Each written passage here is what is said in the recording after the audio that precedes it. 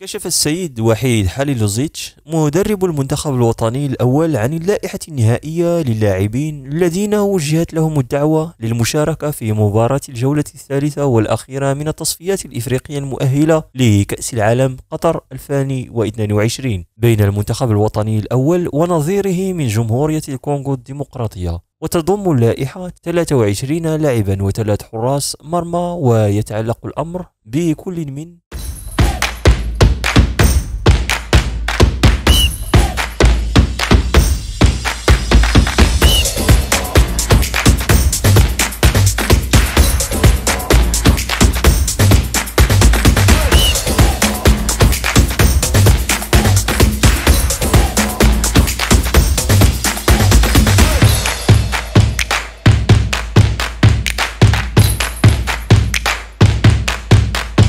Oh!